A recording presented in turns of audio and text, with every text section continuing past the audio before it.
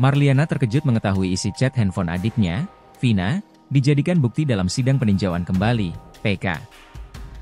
Dalam chat Vina, terlihat komunikasi dengan temannya Widyasari pukul 22.14, membantah putusan awal.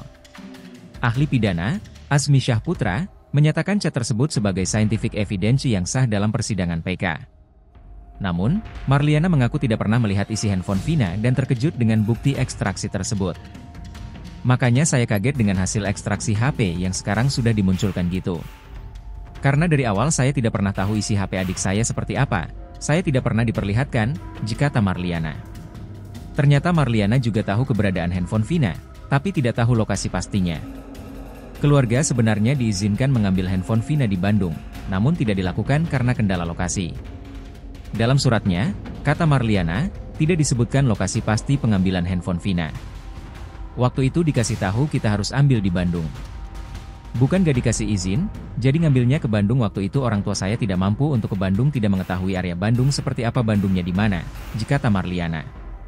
Marliana merasa bingung dan kesal, sebab hingga kini handphone adiknya belum juga dikembalikan ke keluarganya. Kasus Vina Cirebon kembali memanas dengan terungkapnya bukti baru yang mengarah pada dugaan salah tangkap. Download Tribun X sekarang menghadirkan lokal menjadi Indonesia.